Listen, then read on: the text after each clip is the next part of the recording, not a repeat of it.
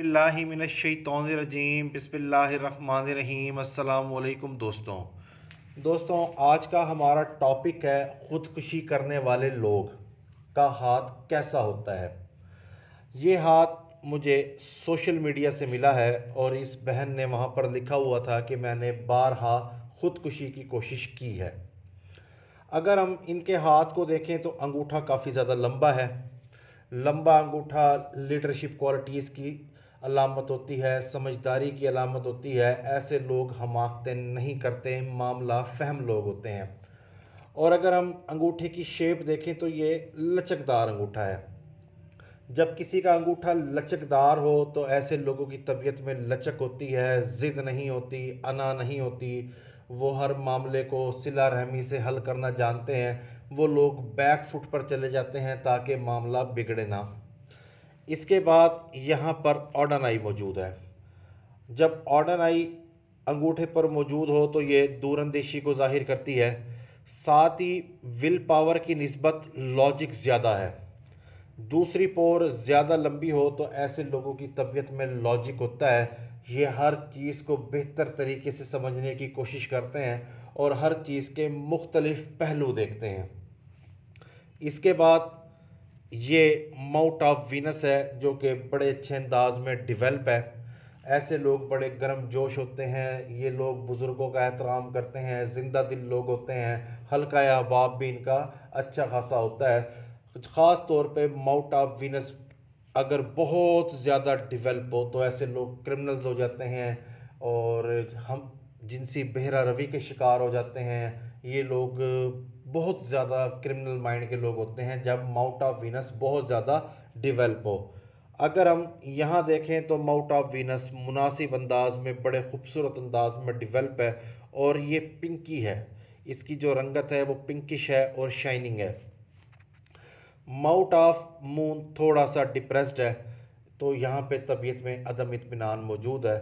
اگر mouth of مون بہت زیادہ ڈیولپ ہو جائے یعنی کہ ہتیلی سے باہر نکلنے لگ جائے تو ایسے لوگ مکمل طور پر زندگی سے بے لذت ہو جاتے ہیں، ان کو زندگی کی قدر و قیمت کا علم نہیں ہوتا۔ اگر ماؤٹ آف سیٹرن بہت زیادہ ڈیولپ ہو جائے تو یہاں پر بھی لوگ خودکشی کر جاتے ہیں۔ کیونکہ ماؤٹ آف سیٹرن کا تعلق بھی فلسفے کے ساتھ ہوتا ہے، ہماری مستقبل بینی کے ساتھ ہوتا ہے، ہمارے روزگار کے ساتھ ہوتا ہے۔ اور دماغ کی لکیر ماؤٹ آف مون پر آئے۔ جب دماغ کی لکیر ماؤٹ آف مون پر آئے تو ایسے لوگ جو ہوتے ہیں وہ بھی بہت زیادہ ڈپریشن کا شکار ہو جاتے ہیں۔ اگر ہم اس ہاتھ کا دیکھیں تو ماؤٹ آف وینس اچھے انداز میں ڈیولپ ہے۔ دماغ کی لکیر بڑی شاندار، بڑی شارپ ہے۔ ماؤٹ آف مون تھوڑا سا ڈپریسڈ ہے ماؤٹ آف سیٹرن بھی مناسب ہے۔ تو اکارڈنگ ٹو ہینڈ مجھے نہیں لگتا کہ یہ بہن خودکشی کرے گی اور خودکشی کی کوشش کرے گی۔ یہ صرف اور صرف اپنے خاندان کو، اپنے والدین کو صرف ڈرائے گی۔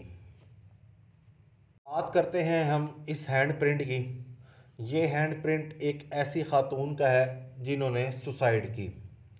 اگر ہم ان کے ماؤٹ آف مون کو دیکھیں تو یہ بہت زیادہ طریقے سے ڈیولپ ہے ہتیلی سے باہر نکلتا ہے۔ ساتھ ہی مرکری فنگر اور اپالو فنگر کے درمیان فاصلہ زیادہ ہے۔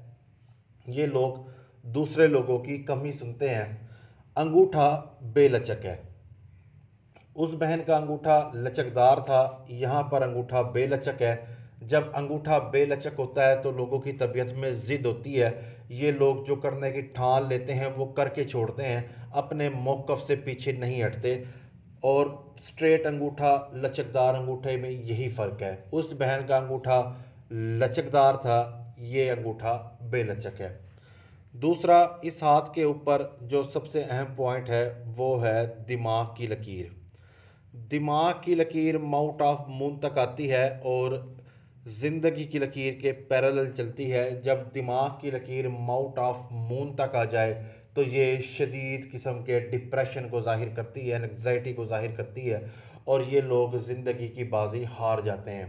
میں جن خواتین یا جن بھائیوں کے ہاتھ کے اوپر دماغ کی لکیر ماؤٹ آف مون کی طرف جاتے دیکھتا ہوں تو میں ان کو یہی کہتا ہوں کہ آپ کسی سائیکیٹسٹ سے ملیں۔